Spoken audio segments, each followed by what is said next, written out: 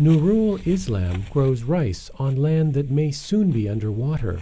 Here along the southeast coast of Bangladesh, climate change related sea level rise threatens to submerge 1 million hectares of agricultural land and displace 40 million people, many of them farmers like Nurul. There are more storms. They're no longer predictable. Sometimes, if we have crops, we cut them and we tie them to containers which float. Within two or three hours, the water recedes. Then we struggle to start all over again. Nurul and his family have already been displaced once. When their farm was washed away 12 years ago, they moved here to this char, or new land, created naturally from layers of silt carried in rivers flowing down into the Bay of Bengal. But after more than a decade on Nolar Char, Nurul and his family still live without electricity and running water, and saltwater intrusion has become a growing threat to his crops. There is no dam, so the high tide floods our land and sweeps away our seedlings. We replace the seedlings, but by the time the season comes to an end, the crop doesn't grow as it should and there is lower yield. In some cases, yields are half of what they should be, and as a result, poverty and malnutrition are growing in coastal communities. To avoid a bigger crisis, farmers need to adapt to climate change, says Thomas Rath from the International Fund for Agricultural Development. People have to adapt their their livelihoods, have to adapt their their production patterns, have to adapt the way they generate income to the changing environment.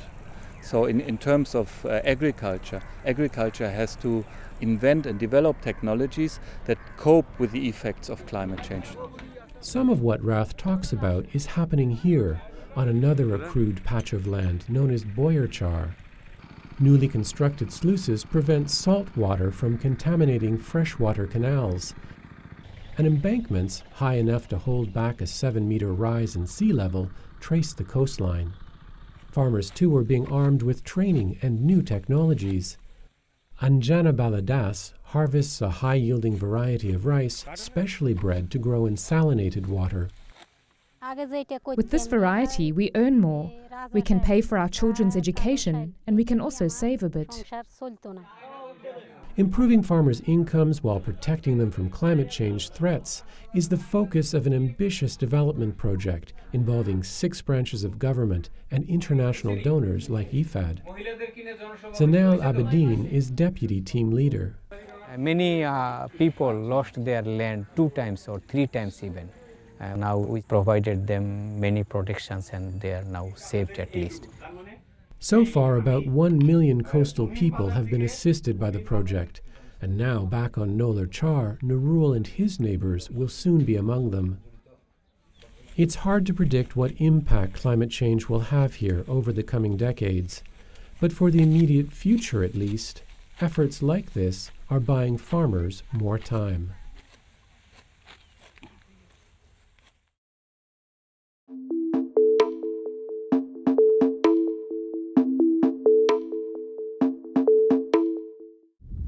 This is the third drought to hit West Africa in recent years, sending people reeling as their crops and livestock wither away.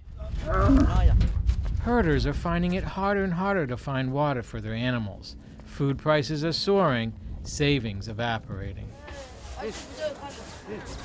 In the past year, the harvest for millet, the main staple crop, was down 37% in Chad, and here in Abeche's market, it now costs 28% more.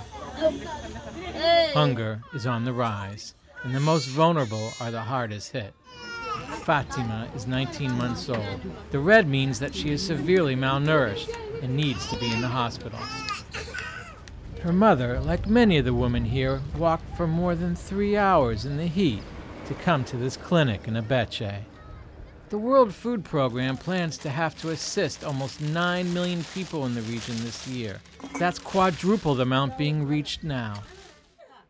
In eastern Chad, there's the additional challenge of feeding refugees who fled the war in Darfur.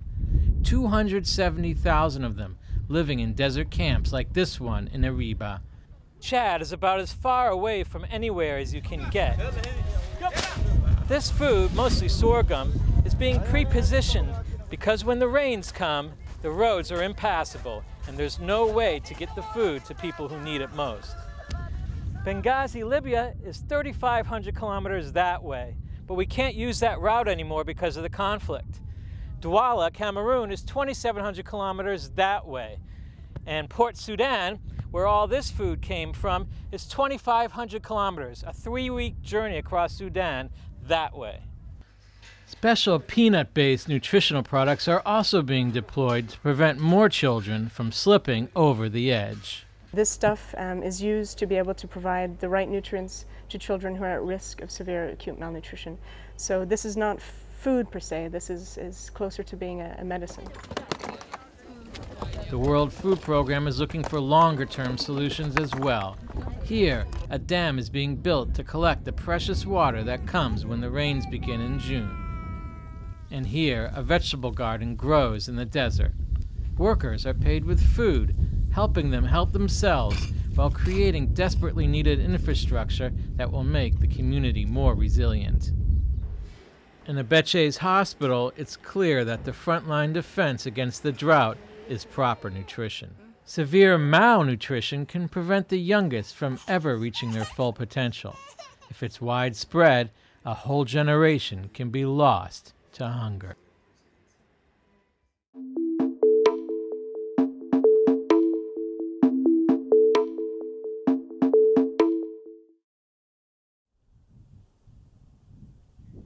The Wolaita zone in southern Ethiopia is a chronically food insecure area and is affected by reoccurring droughts.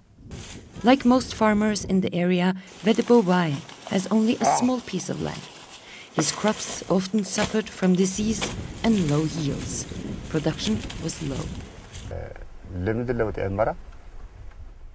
Before, we lived in poverty. The food we produced at the farm was not even enough to feed my family because we didn't have enough food at home. Sometimes my children had to go to the neighbors to ask for food. In 2010, he was selected to get support from FAO's Root and Tuber project. He received 100 kilos of taro planting materials from the organization. His first harvest was nine months later.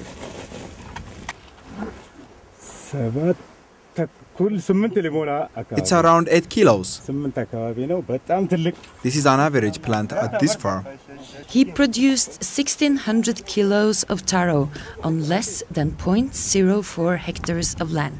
His production has increased by more than three times. Now, I can feed myself and my family. Thanks to God, there is no more poverty in my house. Uh, we are targeting the most vulnerable farmers who are seed insecure, who are uh, food insecure, and we provide planting materials. And they grow and they consume and they sell. Uh, so far, we have supported 47,000 food insecure households. Vedebo and his wife Amarech Ata sort through the roots to find the largest one to sell at the market. These high-yielding varieties that Vedebo and other farmers now have are developed by research centers in Ethiopia. In the past, very few farmers had access to these products. So what FAO has done is linking research stations, universities who own these varieties with the farmers. The district agricultural office targets beneficiaries that meet the admission criteria. We select farmers that are food insecure, but have enough arable land to plant the root and tuber crops. Thank you, God, for giving us this blessed food. The project brought significant change, not only for Vedebo, but for his children as well. Before, I would only go to school when I was able to resist the pain from hunger. We used to skip classes every other day. Now we eat breakfast every day, and I can keep up with my class. My body was in a bad condition. I didn't have much strength.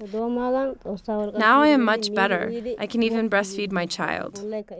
Mulgeta Ambello is a farmer in Hararge in eastern Ethiopia. He received new planting materials for sweet potatoes and Irish potatoes in 2010. After my first harvest, I was able to pay back all my debt. I even returned the seed tubers and distributed planting materials to 10 other farmers in my village. Because the farmers share the high yielding planting materials with other farmers, the number of beneficiaries increases day by day. With the money from his new production, Mulgeta was able to save enough to buy a cow and a goat. He now has enough food to feed his five boys and is not worried about the sixth child that will soon arrive. For Hungry Planet, I'm Astrid Rundin.